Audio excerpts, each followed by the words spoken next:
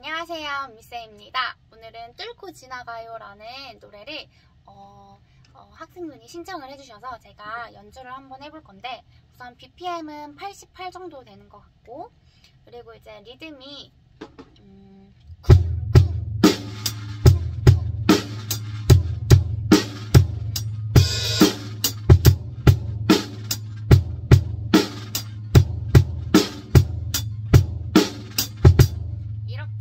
두 마디가 계속 반복이 돼요.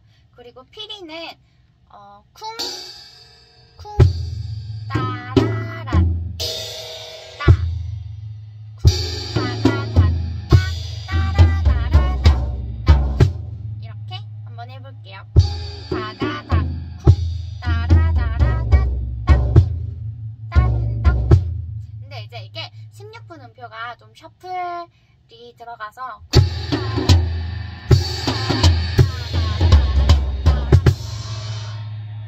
원래는 따다다다다다다다 이건데 셔플이면 다라다따 다라다라다따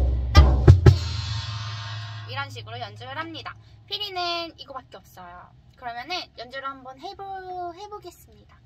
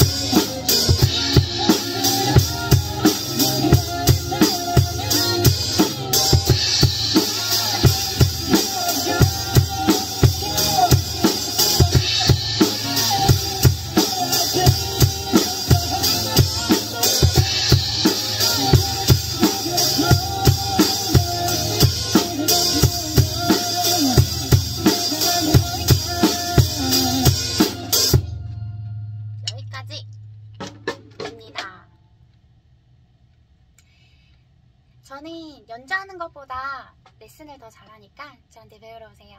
안녕!